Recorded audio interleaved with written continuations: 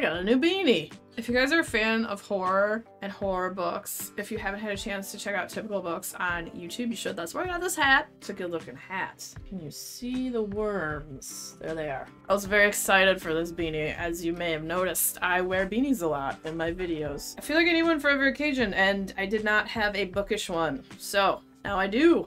And without further ado, we're going to talk about all the books that I read for the month of March. I read 12 books and one magazine. So I read 13 things, and the magazine I read was a horror magazine, and it was about 100 pages, so it was almost a book. But we will get to that. So the first book I read this month was What Lies in the Woods by Kate Alice Marshall, and oh man, what a thriller! It's the story of these three girls who were lifelong friends. One summer, when they're like 11 years old, a tragedy strikes, and the one girl is stabbed. She was stabbed like 17 times and she lives. There's a whole bunch of weird stuff. They found something weird out there. And then the guy who stabbed her and they put away in jail, like she never actually saw him, so she wasn't really sure if they had put the right person in jail. And all this has been like in the back of her mind for years and years. It keeps you on the edge of your seat. And I really like this one. This was a book of the month book, another one that was awesome. So if you like thrillers and are looking for just a fast paced, weird, twisty one, this one was pretty great. I like weird stories that take place in the forest. Another book that had creepy crap, creepy crap, creepy stuff happening in the woods is a book by Darcy Coates called Hunted, which I thought was awesome. The next thing I read was Autobiograffitti, which was, as it sounds, an autobiography by Tony Muggs, who is a stroke survivor and musician. He had a stroke at a really young age, at 28, and just how he overcame it through basically the support of his friends and his family and sheer determination and love of music. It's such a touching and inspiring story, and it has an album that goes along with it. Like, he has several several bands. He has like four bands he's in.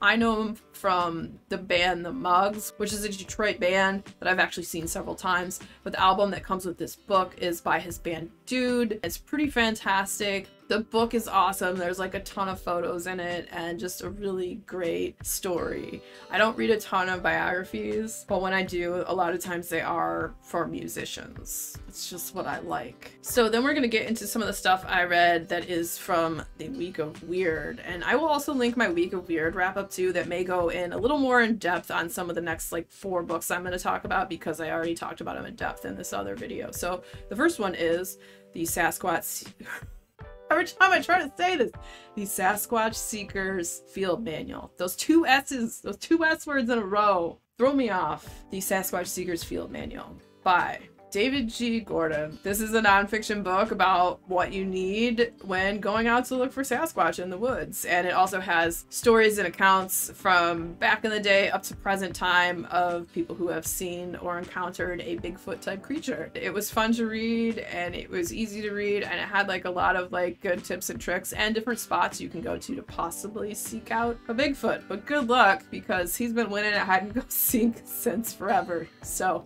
you don't find Sasquatch or Bigfoot. Bigfoot finds you. And then next I read The King in Yellow by Robert Chambers. And this is a book that was written in like 1896. It's 10 short stories and the first four stories refer to this play called The King in Yellow that slowly makes people go crazy or mad. And they're all like these weird kind of supernatural stories. And some were really good that I enjoyed a lot. Some were, there was a couple that I thought were kind of boring. It was kind of around a three star read for me, but I think a lot of that is just just it's a really old book and some of it just didn't translate into current times, at least for me. And then I also read The X-Files Archives, Volume 1, and I stumbled upon this book.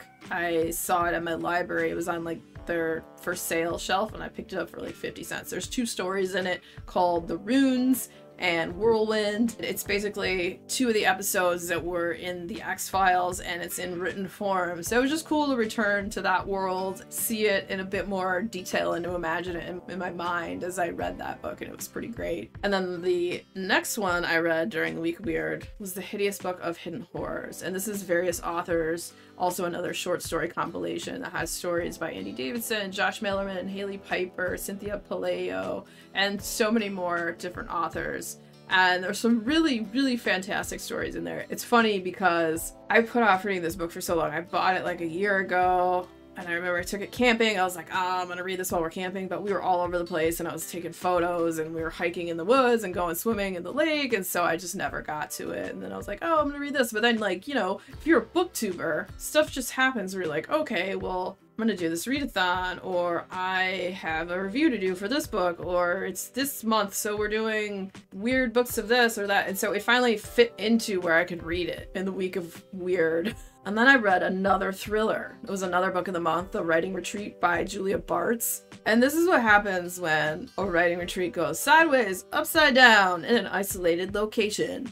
Nobody gets out, nobody gets in. All these people thought they were gonna have a nice, lovely writing retreat. and then they get there, they find out, nah, you're gonna have to write 3,000 words a day. Y'all are gonna pump out books, and by the end of this, you're gonna have a novel. And to make it spicy, whoever's is the best is gonna win a book deal, go on a book tour with Roza Vallo, who's like this amazing renowned author. Stuff gets real weird. This creepy estate that they're on is old and creepy. It's got a weird history. Maybe it's haunted. People are very suspicious. Stuff is shady. And then someone goes missing when there's a blizzard and it all goes to hell. I enjoyed it.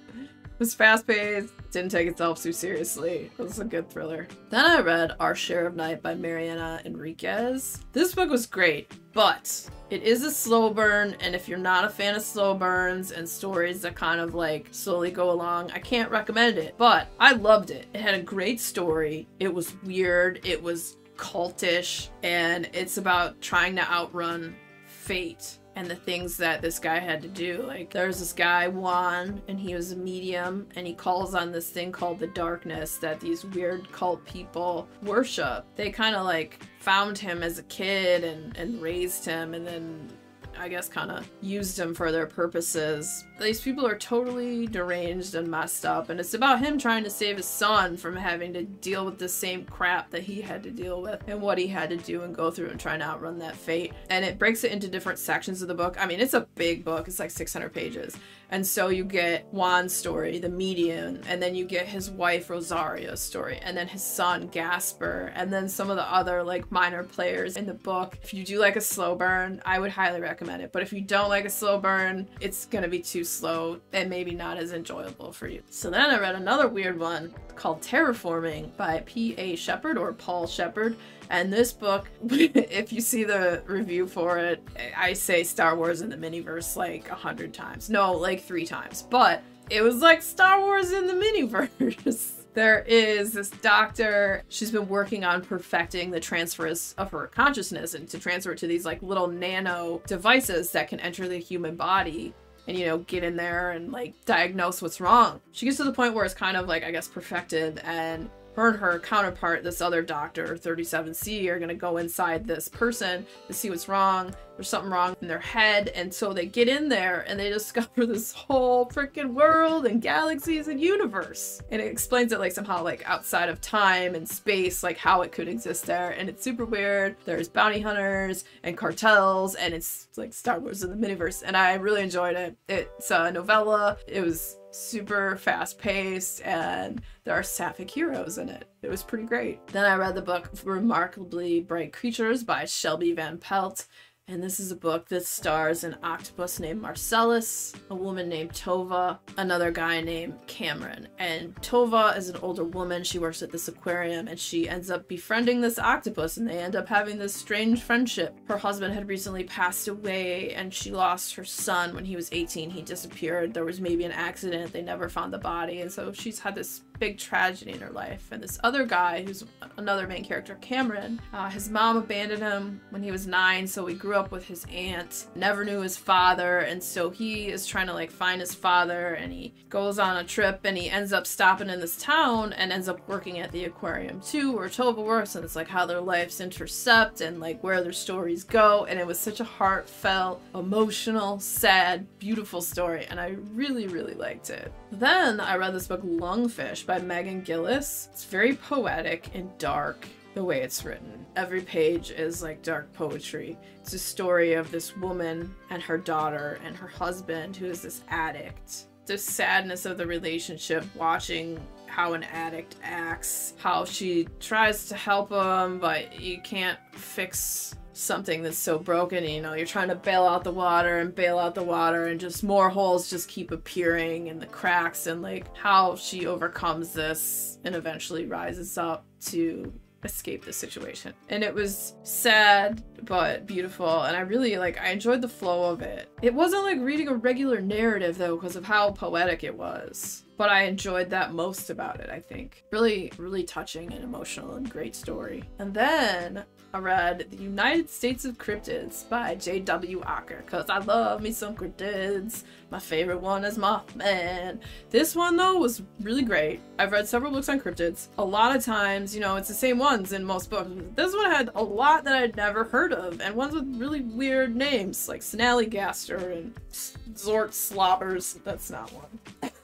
Snarly Yows, Glawackus. That's the one I call Zach Galifianakis and the Wampa Hoopus. I had never heard of any of these. There's a lot of strange ones, and it's broken up into you have like the Midwest ones, and you have Northeast, down south and then out west coast way. It breaks down like where each of the cryptids have been seen. And then it also, he put in this book, which I thought was cool, is like the different festivals that happen that are cryptid festivals and different like statues and museums and stuff in each state, which I thought was cool that that was also included. Like if you ever wanted to do like a US cryptid museum visit statues and landmarks road trip, you could probably map out some stuff with this book, and I thought that was pretty dang cool. And then I read a horror magazine. It's a brand new magazine put out by Mike Salinas, and I will link the magazine down below. It's darkdeadthings.com, I believe, but I'll have that link down below as well as the Instagram. And it had two poems and it had eight different stories. The only author I knew in it was Chandler Morrison, and Chandler Morrison's story was awesome.